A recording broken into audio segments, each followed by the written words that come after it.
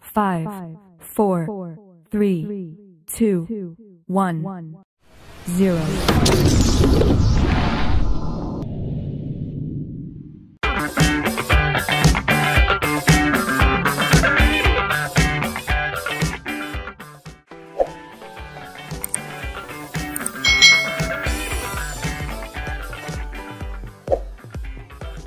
Hai hai hai Selamat datang di channel youtube Kak Citra Apa kabar adik-adik semuanya? Apakah kalian siap hari ini belajar bersama Kak Citra? Hari ini kita masih belajar di tema 7 Tentang kepemimpinan Subtema 3 Ayo memimpin pembelajaran yang ketiga Mari adik-adik kita belajar dengan penuh semangat ya Bergotong royong menandakan bahwa kita saling membutuhkan dan bukan makhluk yang paling sempurna.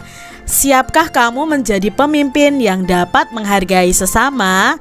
Harus siap ya adik-adik ya. Kalau kalian menjadi pemimpin harus menghargai sesama. Bacalah teks pidato berikut ini. Kemudian lakukan perintah dari teks yang ada di bawahnya. Di sini ada teks pidato adik-adik, mari kita baca bersama-sama.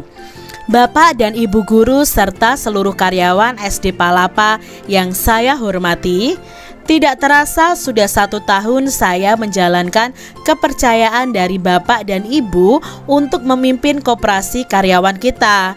Sudah beberapa tahun kita bersama-sama merasakan manfaat organisasi kecil kita ini. Perlu kita ingat kembali bahwa tujuan mendirikan koperasi bukan untuk mencari keuntungan.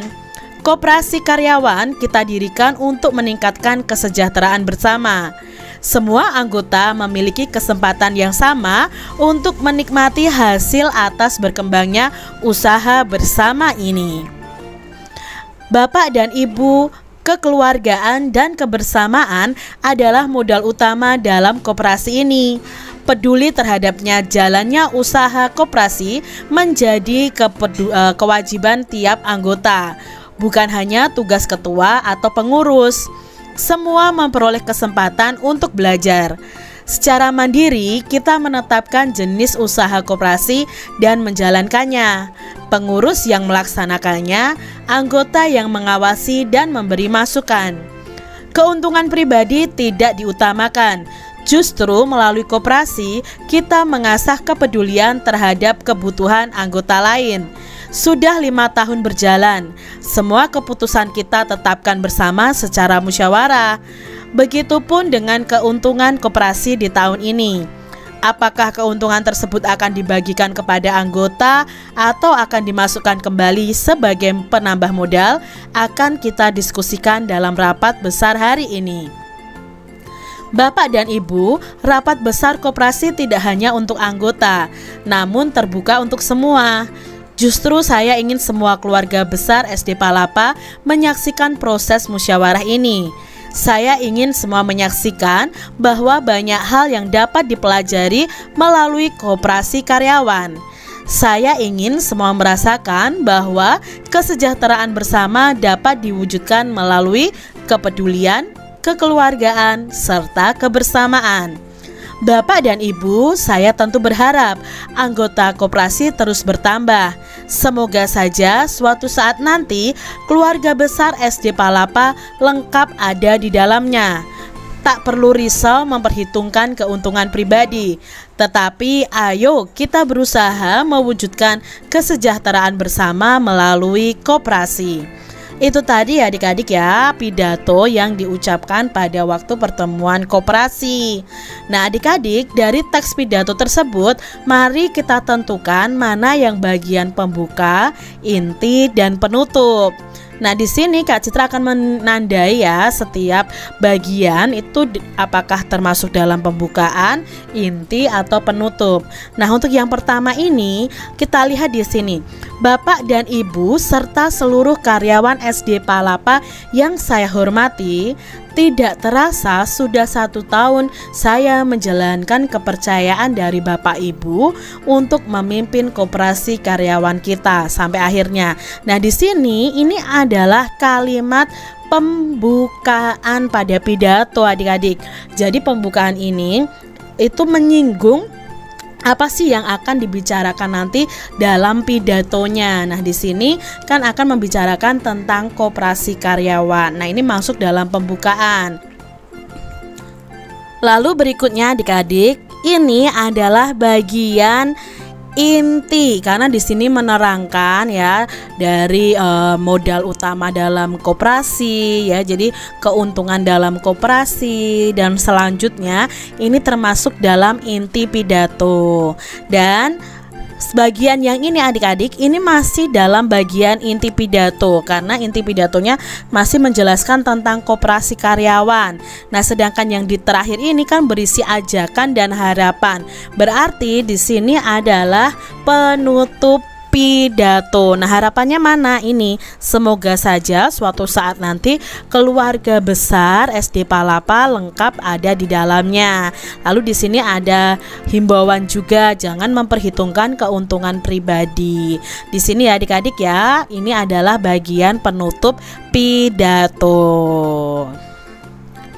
Adik-adik, kalian bisa merancang teks pidato. Kalian dapat menggunakan teks tentang sejahtera bersama koperasi yang telah kalian baca sebagai ide. Nah, kalian bisa ya merancang uh, teks pidato karena kalian sudah mengetahui unsur-unsur pidato. Misalnya nih adik-adik, kan unsur pidato itu ada buat topik dulu, lalu salam pembuka, lalu ada pendahuluannya. Nah, di sini Kak Citra, topiknya adalah bermusyawarah untuk kepentingan bersama bersama. Salam pembukanya seperti ini. Assalamualaikum warahmatullahi wabarakatuh. Yang terhormat Bapak Ibu guru yang saya hormati, juga teman-teman yang saya cintai. Pada kesempatan ini saya akan menyampaikan pidato dengan topik bermusyawarah untuk kepentingan bersama. Itu salam pembukanya, berarti memberi salam kepada hadirin atau undangan. Berikutnya unsur pidato adalah pendahuluan. Nah, di sini pendahuluan yang Kak Citra e, cantumkan, musyawarah merupakan kegiatan membahas suatu masalah dengan tujuan agar mendapatkan solusi.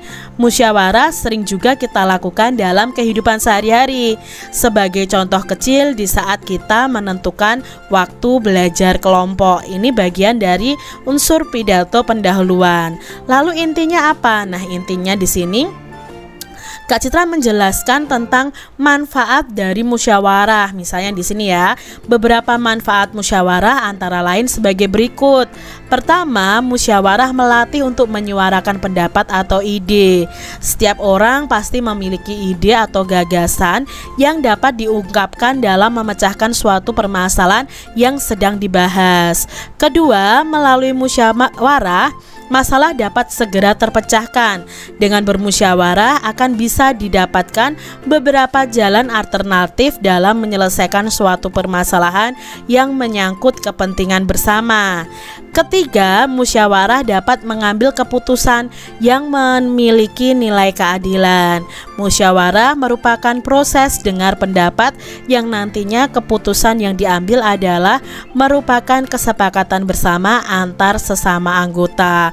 Lalu manfaat musyawarah yang keempat ke uh, musyawarah ini menghasilkan keputusan yang dapat menguntungkan semua pihak.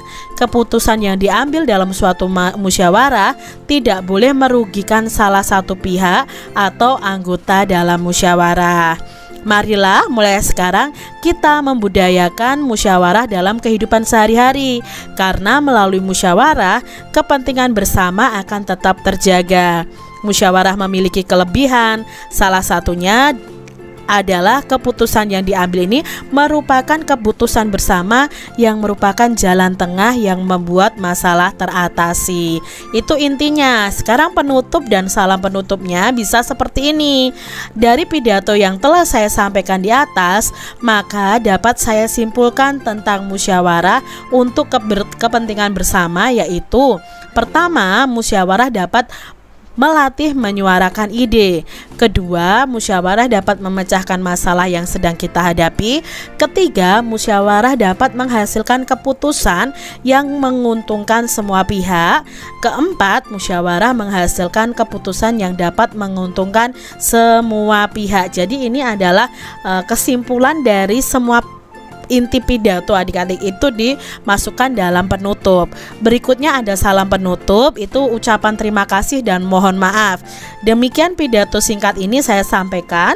Mohon maaf bila ada kata atau kalimat yang kurang jelas. Terima kasih. Wassalamualaikum warahmatullahi wabarakatuh. Nah, di sini contoh dari uh, pidato adik-adik kalian bisa membuat pidato sesuai dengan keinginan atau imajinasi kalian masing-masing.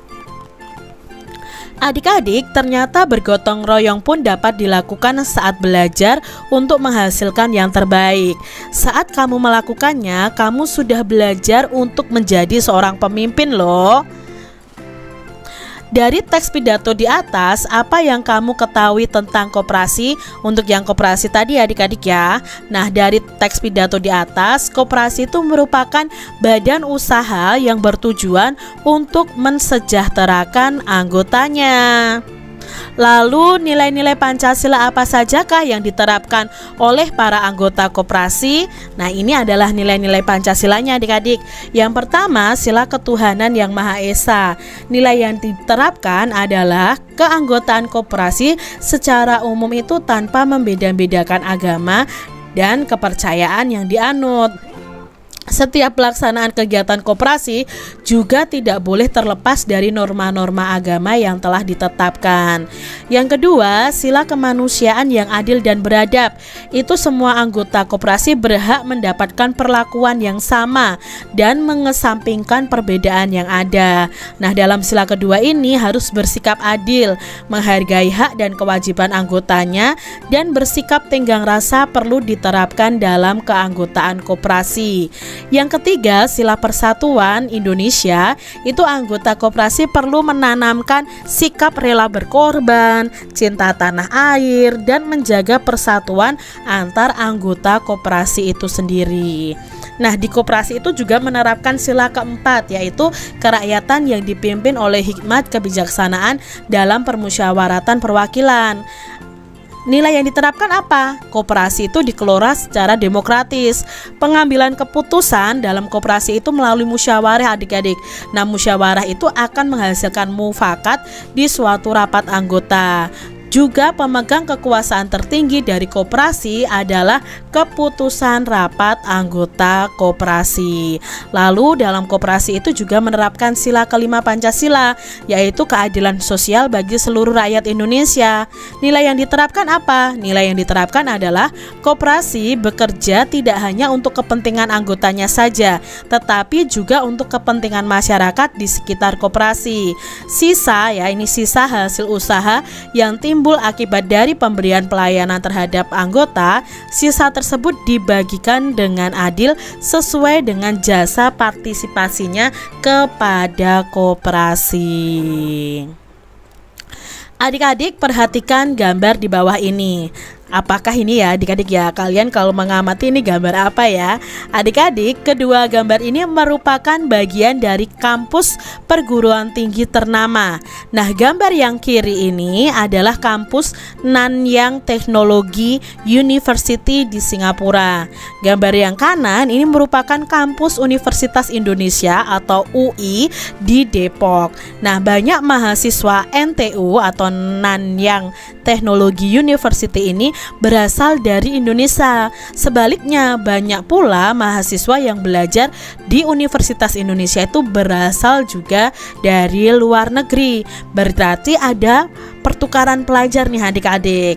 Nah, di sini kita akan belajar tentang posisi dan peran Indonesia dalam kerjasama di bidang pendidikan dalam lingkup ASEAN. Nah, di sini adik-adik kerjasama sektor pendidikan di ASEAN dilakukan oleh Komite ASEAN untuk Pendidikan atau ASEAN Committee on Education.